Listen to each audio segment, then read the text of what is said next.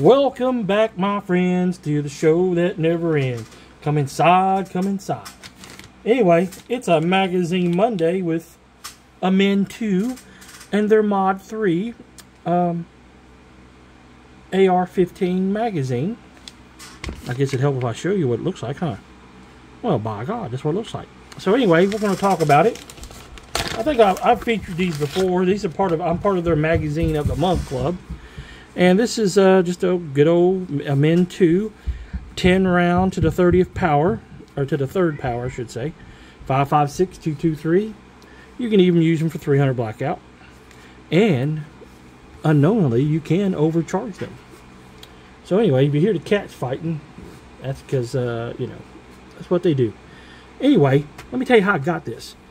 They had a special, I don't know if it's still on, if you do a review of one of their magazines and you buy and you send it in to them and they'll and you buy another magazine. So the next magazine you buy they'll get a free magazine. So this was the free magazine that i bought.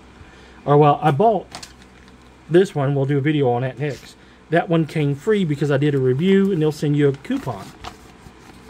So i thought that was pretty cool.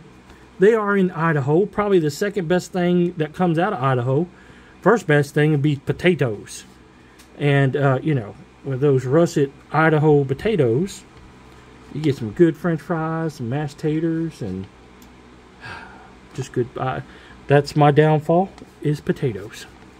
Anyway, I guess I love potatoes. and Amend 2 magazine from Idaho.